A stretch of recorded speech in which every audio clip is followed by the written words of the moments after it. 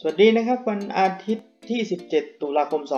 2564 แบบนี้ครับ ท่านอยู่กับเราก่อนเกมอีกเช่นเคยครับ วันนี้มีโปรแกรมของทางด้านของไทยลีกมาฝากกันเช่นเคยนะครับเสาร์อาทิตย์แบบนี้นะครับ เป็น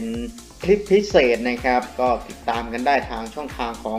เพจของ Facebook นะครับเหล่าร้อยหลาแล้วก็ช่องทางของ YouTube Channel ครับเหล่าร้อยหลานะครับถ้าชอบถ้าใช่ถ้าโดนใจถูกใจก็กดไลค์กดแชร์ให้กันด้วยนะครับ ช่องทางของ YouTube Channel ครับ กด Subscribe หรือกดติดตามได้นะครับผมมีบทวิเคราะห์ดีๆ แบบนี้นะครับ ให้ท่านได้รับชมรับฟังแล้วก็พิเคราะห์พิจารณากันไปนะครับ ทุกวันนะครับ วันนี้ไปอยู่กับไทยลีกนะครับ วันอาทิตย์แบบนี้นะครับฝนโปรยปลายแบบนี้นะครับ คู่แรกเตะกัน 6 โมงเย็นนะครับแบงคอกยูไนเต็ดกับชนบุรีนะครับเตะกันที่สนามธรรมศาสตร์รังสิตนะครับผมแบงคอกทีมอันดับ 3 นะครับ ต่อ เปิดมานะครับ Asian handicap ต่อไปที่ครึ่งลูกนะครับ แล้วก็ไหลไปที่ครึ่งลูกบวก 10 นะครับ น้ำ7ของกับชนบุรีนะครับ เดี๋ยวเรามาวิเคราะห์ทีเดียวทั้ง 4 คู่กันเลยนะครับ วันนี้คู่ที่ 2 ครับ6โมงเหมือนกันนะครับโปลิศเทโรนะครับเปิดบ้านรับการมาเยือนของสิงห์มังกรนะครับ เป็นราชบุรีมิตรผลนะครับ ราชบุรีก็มาด้วยราคา ต่อที่ปอปลบ10นะครับผมน้ำอยู่ที่ 9 นะครับ คู่ที่3ครับขยับขึ้นไปเป็น6โมงครึ่งนะครับตามเวลาบ้านเรานะครับ เชียงรายยูไนเต็ดขึ้นเหนือไปเลยนะครับ เปิดบ้านรับการมาเยือนของเมืองทองยูไนเต็ดเป็นอีกคู่หนึ่งที่น่าสนใจนะครับ เป็นทีมใหญ่เหมือนกันนะครับ แล้วก็อีกคู่หนึ่งครับดาร์บี้แมตช์อีสานนะครับคู่นี้ไฮไลท์เลยนะครับบุรีรัมย์ยูไนเต็ดนะครับ เปิดบ้านที่ช้างอารีนานะครับ รับการมาเยือนของนครราชสีมา FC นะครับ ทีมอันดับ 12 นะครับบุรีรัมย์เป็นทีมนำจ่าฝูงอยู่ตอนนี้นะครับ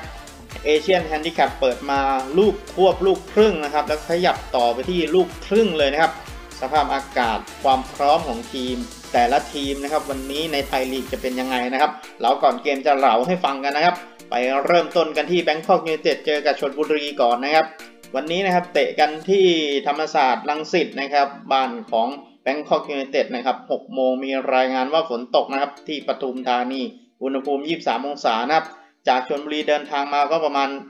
90-100 กิโลนะครับมาที่สนามนะครับ การพบกันของทั้ง 2 ทีมนะครับ ล่าสุดเป็นแบงคอกนะครับทำได้ดีกว่านะครับ ชนะได้ถึง 5 ประตูต่อ1นะครับในต้นปี 2021 ที่ผ่านมานะครับ ปี 2020 ครับ แบงคอกไปเยือนชลบุรีชลบุรีชนะได้นะครับ1-0 ปี 2019ชลบุรีเจ้าบ้านนะครับชนะได้นะครับ2-1แบงคอกยูไนเต็ดนะครับชลบุรีมาเยือนปี 2019 นะครับ ก็ชนะได้เช่นกันครับสำหรับแบงคอกยูไนเต็ดนะครับชลบุรีชนะไป 4-2 นะครับ แล้วก็แบงคอกในปี 2018 นะครับ ไปเยือนชลบุรีชนะได้ 4-2 แล้วก็ปี 2018 เช่นเดียวกันครับบอลไทยลีกนะครับแบงคอกเจ้าบ้านชนะได้นะครับ 2-1สำหรับชลบุรี เรียกกันได้ว่าผัดกันคนละปีเลยนะครับ ปี 2018 เนี่ยแบงคอกเหมาไปนะครับสำหรับชัยชนะปี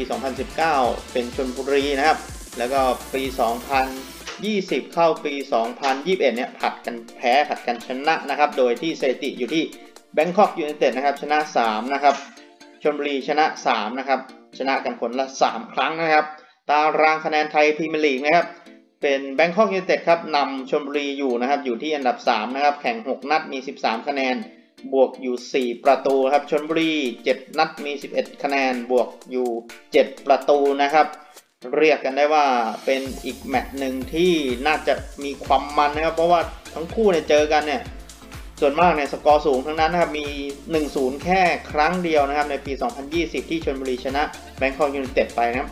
1-0 ผลงานล่าสุดของทั้ง 2 ทีมนะครับ 6 นัด แบงคอกเจ้าบ้านก่อนเลยนะครับเพิ่งไปเยือนนครราชสีมามานะครับชนะได้ 2-0 อยู่บ้านรับการมาเยือนของประจวบชนะได้ 2-1 ชนะทางด้านของบุรีรัมย์ในบ้านด้วยนะครับ 2-0 ไปเยือนสมุทรปราการก็แพ้มา 3-1 นะครับอยู่บ้านรับการมาเยือนของท่าเรือเสมอ 1-1 นะครับไปเยือนขึ้นเหนือที่เชียงใหม่ก็ชนะได้ 2 ประตูต่อ 1 นะครับ เรียกกันได้ว่ายิงได้ทุกนัดนะครับสำหรับแบงคอกยูไนเต็ดทางด้านของทีมเยือนชลบุรีครับ มาเยือนนะครับ แต่ผลงานพึ่งสะดุดแล้วก็พึ่งกลับมาได้ในนัดที่เจอกับสุพรรณชนะได้ 1-0 นะครับ ไปเยือนโปลิสเทโลแพ้ 2-0 อยู่บ้านรับการมาเยือนเชียงรายแพ้ 3-2 นะครับ โดยที่นำก่อน 2-1 ด้วยนะครับ ไปเยือนขอนแก่นถล่มมาได้ครับ 7-0 เฝ้าบ้านครับรับการมาเยือนของหนองบัวพิชชนะได้ 3-1 นะครับ แล้วก็เสมอกับชนบุรีครับในนัดแรกของปีนี้ไป 3 ประตูต่อ 3 เรียกกันได้ว่าสกอร์ไปทางด้านสูงนะครับ วันนี้เหลาก่อนเกมนะครับ ก็จะให้ทางด้านของทีมรองอย่างชนบุรีครับน่าจะมาเก็บแต้มกันที่ธรรมศาสตร์ได้นะครับสำหรับวันนี้เพราะมีทางด้านของเรื่องของอากาศด้วยนะครับ ฝนตกสนามค่อนข้างจะแฉะนะครับ น่าจะเป็นความยากลำบากของการเล่นในวันนี้นะครับ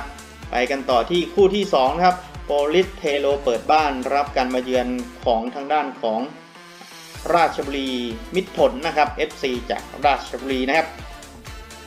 เป็นสนามที่สนามบุณยะจินดานะครับสเตเดียมอุณหภูมิ 23 องศารายงานว่าฝนตกเช่นเดียวกันนะครับ วันนี้ฝนตกทั่วฟ้าเมืองไทยกันเลยทีเดียวนะครับโปลิศ เทโรครับกับทางด้านของราชบุรีนะครับ ที่เจอกันที่ผ่านมานะครับเป็นราชบุรีนะครับ ที่ทำได้ดีกว่านะครับ ชนะได้ถึง 4 ครั้งเสมอ 2 ครั้งและยังไม่แพ้นะครับ วันนี้ก็มาในราคาที่ต่อที่ปอปอด้วยนะครับ ราชบุรีเดินทางมายังเมืองหลวงก็ประมาณ 81 กิโลเมตรนะครับ ที่บุณยะจินดาสเตเดียมวันนี้นะครับ ตารางคะแนนของทั้งสองครับ ราชบุรีอยู่อันดับ9ครับ แข่ง 6 นัดมี 8 คะแนน บวกอยู่ 1 ประตูนะครับโปลิศ เทโรนะครับ แข่ง 7 นัด 8 คะแนน บวกอยู่ 1 ประตูเช่นเดียวกันนะครับ การผลงานของทั้งคู่นะครับที่ผ่านมานะครับเป็นทางด้านของเจ้าบ้านนะครับ ที่กระเตื้องมา 2 นัดนะครับ เพราะชนะได้ทั้ง BG ปทุม แล้วก็ทางด้านของชนบุรีด้วยนะครับ ผลงานหรูเลยนะครับ ก่อนหน้านั้นก็แพ้ทางด้านของหนองบัวพิษนะครับ เสมอทางด้านของสมุทรปราการ ไปเยือนนครราชสีมาแพ้มา 1-0 นะครับ ไปเยือนบุรีรัมย์แพ้มา 3-1 นะครับ ทางด้านของชนบุรีนะครับ เป็นเจ้าบ้านนะครับ เปิดบ้านรับเชียงใหม่ยูไนเต็ดชนะได้ 2-0 นะครับ ไปเยือนสุพรรณเสมอ 1-1 ไปเยือนเมืองทองแพ้ 2-1 ไปเยือนเชียงรายเสมอ 0-0 นะครับ ไปเยือน BG ปทุมนะครับแพ้ 2-0 ไปเยือนขอนแก่นชนะได้ 2-0 นะครับ เรียกกันได้ว่าพอเวลาไปเยือนเนี่ยก็มีออกได้ 3 หน้าเลยครับสำหรับราชบุรีนะครับ วันนี้ ทางด้านของเหลาขอนเกมนะครับ คู่นี้นะครับ เราให้ทางด้านความพร้อมของโปลิศ เทโรที่ดีกว่านะครับ แล้วก็ราชบุรีเนี่ยการเดินทางก็น่าจะใช้เวลาด้วยนะครับ ในการเข้าเมืองวันนี้นะครับคู่นี้ครับให้โปลิสเทโลรองไปที่ปอปอหรือครึ่งลูกนะครับ เพราะว่าเล่นในบ้านนะครับ ผลงานกำลังดีเลยนะครับ ตอนนี้นะครับ ก็ให้ทางโปลิศ เทโรครับ ต่อไปกันคู่ที่ 3 นะครับ ขยับเตะไปที่6โมงครึ่งนะครับ ขึ้นเหนือไปเลยนะครับสำหรับเชียงรายยูไนเต็ดเปิดบ้านที่สิงห์สเตเดียมนะครับ รับการมาเยือนของเมืองทองยูไนเต็ดกิเลนผยองวันนี้จะผยองที่เมืองเหนือได้หรือเปล่านะครับ การพบกันของทั้งคู่นะครับ ก็คือทางด้านของเชียงรายนะครับ ยังเป็นรองทางด้านของเมืองทองอยู่นะครับ โดยนัดที่ผ่านมาเชียงรายมาเยือนเมืองทองก็ชนะได้นะครับ3-2เชียงรายเปิดบ้านปี 2020 ชนะเมืองทองได้ 2-1 เมืองทองเจ้าบ้านนะครับ ชนะได้นะครับ จากเชียงรายนะครับปี 2019 1-0 ไปเยือนเชียงรายปี 2019 ชนะได้ 3-2 นะครับสำหรับเมืองทอง แล้วก็ปี 2018 ครับเป็นเมืองทองชนะ 1 นัดนะครับ แล้วก็เสมอ 1 นัดโดยนัดที่ชนะเนี่ยชนะได้ถึง 3 ประตูต่อศูนย์ในการไปเยือนนะครับ การเป็นเจ้าบ้านก็เสมอเชียงรายนะครับในปี 2018 นะครับผม ตารางคะแนนของทั้งคู่ครับวันนี้ครับ เชียงรายอันดับ2นะครับแข่ง 7 นัดมี 14 คะแนนบวกอยู่ 4 ประตูนะครับ เมืองทองแข่ง 7 นัด 9 คะแนนนะครับ มีอยู่ 1 ประตูนะครับ ผมโดยที่วันนี้นะครับฟอร์มล่าสุดของทั้งสองเนี่ยเอ็นไปทางเชียงรายนะครับที่ภาษีดีกว่านะครับ ซึ่งเพิ่งจะไปชะชนะทางด้านของหนองบัวพิชยะมานะครับ 2 ประตูต่อ 1 ชียงรายไปเยือน BG ปทุมก็ชนะได้นะครับ 2-0 ไปเยือนชนบุรี ชนะได้ 3-2 นะครับเฝ้าบ้านแต่แพ้ประจวบมานะครับ เป็นนัดที่สะดุดไปนัดหนึ่งนะครับ 2 ประตูต่อ1ครับ เสมอกับราชบุรีในบ้านตัวเองนะครับ 0-0 แล้วก็นครราชสีมามาเยือนที่เชียงราย เชียงรายก็ชนะได้ 3-2 นะครับสำหรับของเมืองทองนะครับ ก็ไปแพ้ให้กับทางด้านของ BG ปทุมมานะครับ เพิ่งเพิ่งเตะกันไปล่าสุดนะครับเมืองทองอยู่ในบ้านชนะขอนแก่นได้ 3-1 นะครับ เมืองทองเฝ้าบ้านเช่นกันครับ เสมอหนองบัวพิชยะไป 1-1 ไปเยือนท่าเรือนะครับ แพ้ 1-0 เฝ้าบ้านรับการมาเยือนของราชบุรีแพ้ชนะได้นะครับ 2-1 แล้วก็เสมอทางด้านของชนบุรี 3 ประตูต่อ 3 นะครับ วันนี้นะครับ ทางด้านของเชียงรายนะครับ จากปปนะครับ ขึ้นไปเป็นครึ่งลูกนะครับ ก็มาดูกันว่าผลงานของทั้งคู่เนี่ยวันนี้เชียงรายเนี่ยดีกว่านะครับ แล้วก็ทางด้านทาง ภาคเหนือของเราเนี่ยเริ่มที่จะมีอุณหภูมิที่ต่ำลงแล้วนะครับ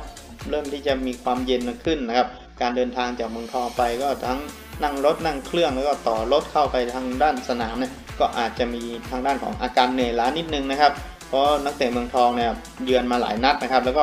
ฟอร์มของทางด้านของทีมเยือนไม่ค่อยดีนะครับ เมืองทอง วันนี้ให้ต่อไปที่เชียงรายครับปปนะครับ ต่อเชียงรายปปนะครับ วันนี้ เหลาก่อนเกมให้ต่อเชียงรายปปนะครับ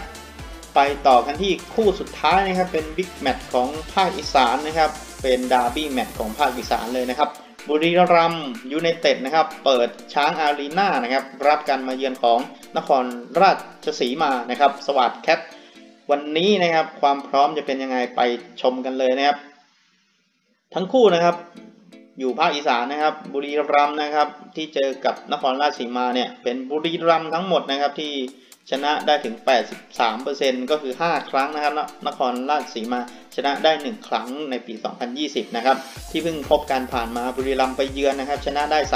3-0 บุรีรัมย์เจ้าบ้านนะครับ แพ้นครราชสีมา 2-1 นะครับ ในปี 2020 ที่ได้กล่าวไปนะครับ แล้วก็บุรีรัมย์นะครับชนะ ในปี 2019 เนี่ย ได้ทั้งไปและกลับนะครับ ตอนไปเยือนเนี่ยชนะได้ 3-2 ตอนเจ้าบ้านชนะได้ 2-0 นะครับ ปี 2018 นะครับ ชนะได้ทั้งเย่าและเยือนนะครับ ไปเยือนชนะ 2-0 นะครับ เย่าอยู่ในบ้านนะครับ บุรีรัมย์ชนะได้ 2-1 นะครับ การเดินทางก็จากนครราชสีมามาบุรีรัมย์ก็ด้วยรถบัสนะครับ รถทัวร์นะครับ เดินทางมาก็ประมาณร้อยกว่าโลเองนะครับ ใช้เวลาไม่มากนะครับสำหรับ นครราชสีมามาอย่างบุรีรัมย์นะครับผมตารางคะแนนของไทยพรีเมียร์ลีกครับบุรีรัมย์เป็นจ่าฝูงนะครับแข่ง 7 นัด 16 คะแนนบวกอยู่9อยู่ 9 ประตูนะครับนครราชสีมา 7 นัด 8 คะแนนมีลูกได้เสียที่ลบ 3 ประตูค่อนข้างจะเสียประตูได้ง่ายนะครับสำหรับนครราชสีมาวันนี้ ผลงานทั้ง 6 นัดที่ผ่านมาของทั้งคู่นะครับบุรีรัมย์นะครับไปเยือนทางด้านของท่าเรือชนะมาได้ 2-0 นะครับ บุรีรัมย์ชนะสมุทรปราการในบ้านนะครับ 2-1 นะครับ ไปเยือนประจวบชนะได้ 2-0 ไปเยือนทางด้านของบางกอกกลาสนะครับบีจีปทุมแบงคอกยูไนเต็ดนะครับขอโทษทีนะครับแบงคอกยูไนเต็ดแพ้มา 2-0 นะครับ ชนะเชียงใหม่ยูไนเต็ดในบ้านนะครับ 4-0 ชนะโปลิศ เทโรได้ 3-1 ครับ ส่วนของด้านผู้มาเยือนบ้างครับนครราชสีมานะครับรับการมาเยือนของแบงคอกยูไนเต็ดแพ้มา 2-0 นะครับ ไปเยือนขอนแก่นตีเสมอได้นะครับ 1 ประตูต่อ 1 นาทีสุดท้ายเลยนะครับ นครราชสีมาเปิดบ้านรับสุพรรณก็ชนะได้ 2-1 นครราชสีมาไปเยือนเชียงใหม่ยูไนเต็ดนะครับ ก็เสมอได้นะครับ 1 ประตูต่อ 1 นครราชสีมาเป็นทางด้านของบอลถ้วยนะครับ รับการมาเยือนของสุรินนะครับ ก็แพ้นะครับ 2-1 นครราชสีมารับการมาเยือนของเทโลนะครับ ชนะได้ 1 ประตูต่อ 0 นะครับ วันนี้นะครับความพร้อมแล้วก็แท็กติกของทีมทั้งคู่นะครับ เราก็มั่นใจอยู่แล้วว่าบุรีรัมย์น่าจะเก็บ 3 แต้มได้นะครับ แต่ต่อที่ลูกครึ่งนะครับ จากลูกควบลูกครึ่งไหลไปลูกครึ่งวันนี้เนี่ยราคาค่อนข้างจะแพงครับดาร์บี้แมตช์แบบนี้แล้วก็สภาพอากาศแบบนี้นะครับ วันนี้ครับเชื่อว่าสวัสดแคทนะครับ น่าจะวิ่งสู้ฟัดนะครับ น่าจะความมันระดับหนึ่งนะครับ เชื่อว่าสวัสดแคทแพ้ได้แค่ลูกเดียวนะครับ ให้รองทางด้านสวัสดแคทนะครับนครราชสีมานะครับ ไปที่ลูกครึ่งนะครับผมอยู่ที่สวัสดแคทนะครับเหลาก่อนเกมให้สวัสดแคทครับรองที่ลูกครึ่งนะครับ วันนี้สรุปวันนี้นะครับ ทางด้านของเหลาก่อนเกมนะครับ ให้ทางด้านของชนบุรีครับ รองที่ครึ่งลูกนะครับโปลิสเทโลครับรองที่ปปนะครับ แล้วก็เชียงรายนะครับ ต่อที่ปปนะครับ แล้วก็ทางด้านของนครราชสีมานะครับ รองที่ลูกครึ่งนะครับ ผมวันนี้ก็ขอให้โชคดีกันทุกท่านนะครับ การลงทุนมีความเสี่ยง ก็พิจารณาก่อนการลงทุนนะครับ ผมพบกับเหลาก่อนเกมได้แบบนี้ทุกวันนะครับทางเพจของเหลาร้อยหลา และก็ช่องทางของ YouTube Channel ครับเหลาร้อยหลาเช่นกันนะครับ วันนี้ขออนุญาตไปเติมก่อนนะครับ สวัสดีครับ